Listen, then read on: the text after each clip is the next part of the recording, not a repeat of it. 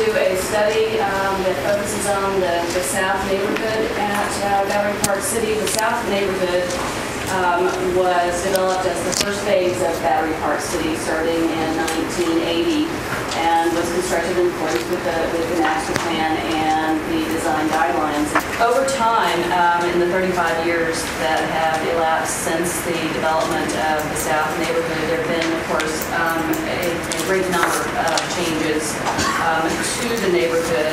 Um, We have uh, completed our evaluation process and recommend that Stantec be awarded the contract for the project in the amount of $247,514. This uh, project for public spaces, you just ruled right now is not capable at all.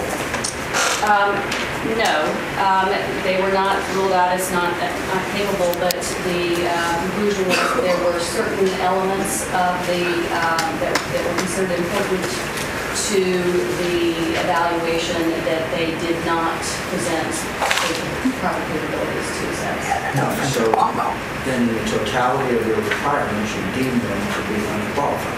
True or false? That's, that's called. Well, it's got to be significantly less, since it's a hundred, uh, thirteen thousand dollars or was some forty-five to forty-eight percent spread. Close.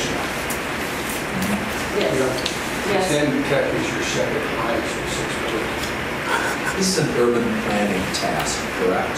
Urban planning, economic, is- there's an economic component to this, there's a regulatory assessment component. Those were the areas where we felt the project level was. Well, because I read the criteria going forty Economic, percent, twenty-five, twenty-five, ten.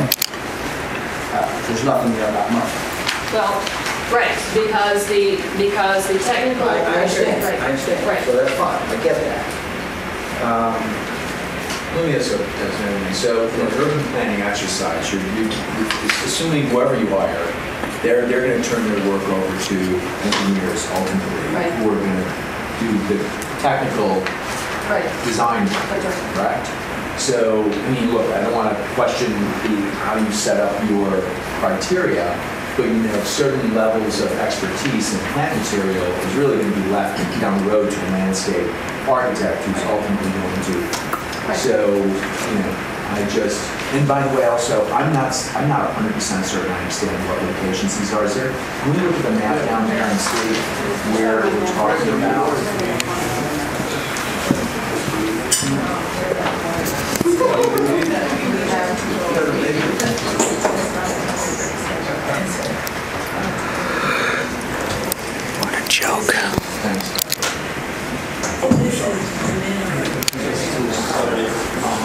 So if we start, if we start here, it, South End Avenue, it's, it's the area of the underside of, of South End Avenue, including this, the street bed, all the way down to the uh, the cul-de-sac here, and then West Thames Street from here to West Street. So it goes from Liberty? Yes, Okay, so all the way down. Yes, yep. So this is gonna be street furniture with new It'll- hardscape that will accommodate landscaping. It'll be, it'll- it also, it also evaluates, there, there are some significant issues that are created by the fact that, by the fact that the street is as wide as it is.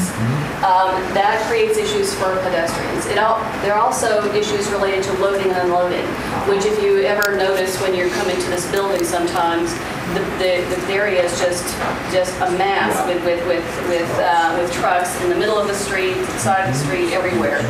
Um, And also, you- you've got these um, arcades that are on the west side of the the street, which were originally part of the master plan and the the the guidelines, design guidelines. However, it... Arcades it- meaning a further setback from the sidewalk Yes, of the building? yes, it's got the covered I see. Setback, which, which uh, really tends to stifle um, the retail um, presence and activity along listen, there. The buildings are extended, the residential portion extends out over the... Right. I.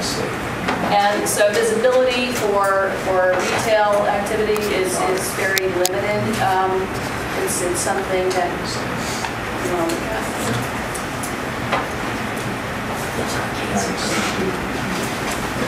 I was back to the point Yeah. about the money. Yeah.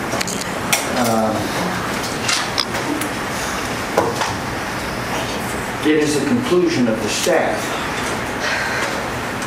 This is a question.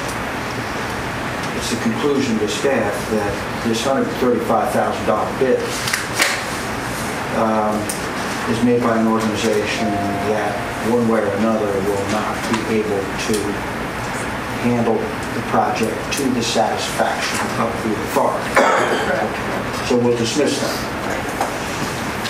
Then we've got another 73-point guy at 200,000, so we'll dismiss him.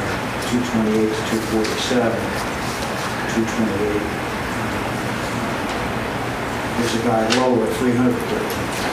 I, I believe it's fair to say that, that the top two, um, Stantec, Rogers Partners, were the only two that, that satisfied all You of the felt fully components. comfortable with Yes. Okay.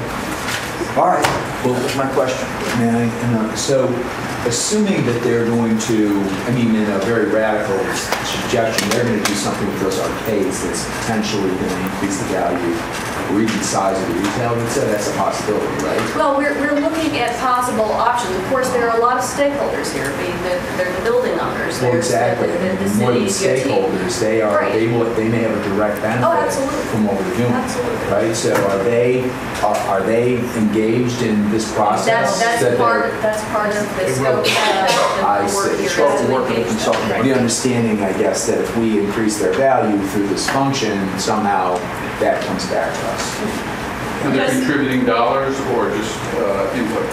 No, at, at this It's point, input at, at this point, Yeah, we, we yeah. did. We haven't because- engaged Baby steps. These guys that we're Right. going to hire are going to manage the engagement with regard to stakeholders. Right, right. and certainly hearing from the stakeholders is a key part of this, and it's Sure. highlighted in the Sure. RFP. in. All right, what else? Uh, Just one question.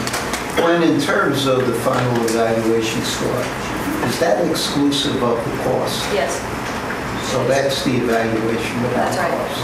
that's right. And what, what percent, if you put a weight on cost? uh, Well, the, the way that, the way that we evaluate cost um, is we open the, the cost proposal after the technical evaluation. We look at the cost and we, and we, um, we look at the, the cost proposal for the highest rated firm.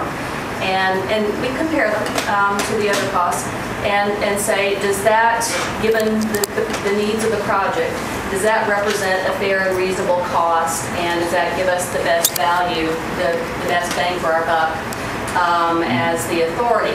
Now, that, it would, if we have two or three proposers that are very close, we, we figure that they're all three capable of doing the work, um, and the scores are close, and the third the technical score is a lot less expensive, but fully capable of doing the work, then we would take, go. yes, we would flip that one So top. looking at this, you would say that uh, Stantec had a higher technical score? Yes, Okay. yes. I didn't know if price came in to, No, at that point or after. not at that point. All right, do we have a motion? By Ms. Second. Second by Mr. Brown. In favor? Aye. Hearing no opposition? Motion is passed. All right.